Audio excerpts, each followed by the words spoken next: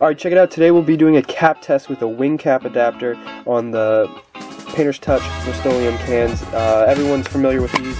They are the male valve cans, so it's got a stem on the tip, so uh, there's a hole in the bottom of the cap, but uh, this wing cap adapter bypasses that, so we'll be reviewing it on a bunch of these different caps here. I'll put all the timestamps in which I review those down below in the description. But uh, once again, we got the key lime and we'll get right into it. Um, these are pretty straightforward. Uh, I'll do a first test with uh, the wing cap as itself because it has the two toggles you can actually spray it without anything uh, on top of it. So let's get into it. We've got the bare wing cap adapter. Let's uh, try it out. So uh, real drippy, lots of paint comes out as if uh, there's no kind of a blaster cap on the top. So you can see it gets really drippy and uh, let's get into it. Since there's no real stock tip with the Painter's Touch now with a wing cap adapter, we're just going to use the standard uh, banana skinny first off.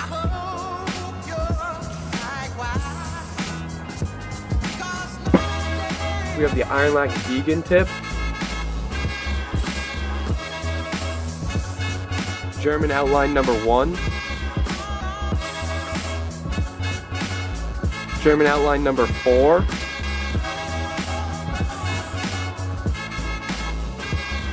Beige dot. Ironlak NY Fat. NY Fat.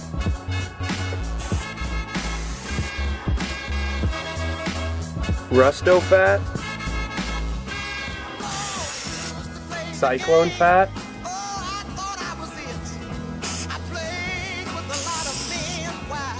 Sabotage Fat.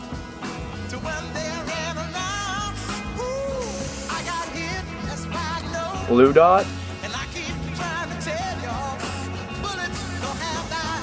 Black.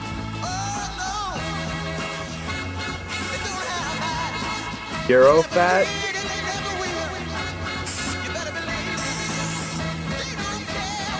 Pink Dot.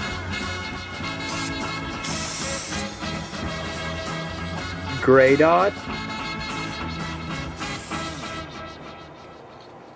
Black on gray.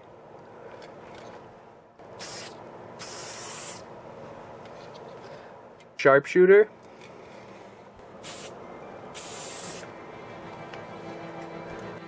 Stock tip without a wing cap. We're gonna finish it out with the Montana level pack. This is Montana level one.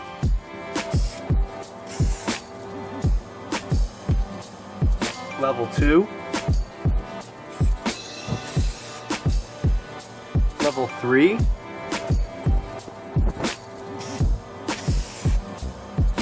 Level four.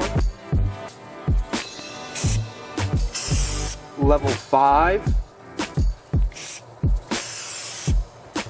And lastly, level six.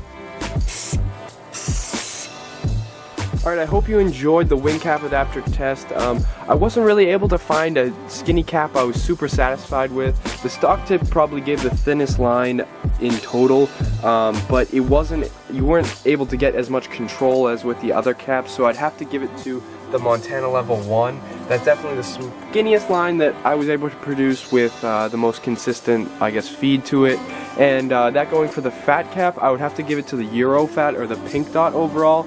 Fat lines weren't too, too big. Um, the Rusto Fat and the original NY Fat were both uh, probably the same size, pretty big uh, line there, but definitely not the size you're traditionally seen on uh, graffiti cans. But, I mean, works well. It allows you to uh, use your caps with a, with a different valve system. Um, I would definitely suggest having multiple of these. Don't just run off one as uh, changing the caps on them. You pretty much have to take it all the way off the can and then put it back on because if you try and put the cap in this system when it's on the can, it gets about halfway in and then starts spraying. So uh, just keep that in mind. So you need 5 or 10 at least to run on uh, throw-ups or pieces or whatever you uh, please with assorted uh, sizes and whatnot. Um, but that being said, they worked really well. Cool uh, kind of addition then from the set cap adapter to have the toggles on the side.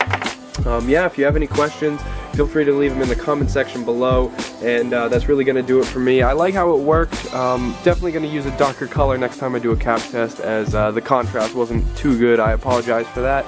But if you have any questions on these, be sure to uh, check out Bombing Science. That's where I got mine from. And uh, they're pretty cheap. I think they were like a buck each. And uh, yeah, that's really going to do it for me. Peace.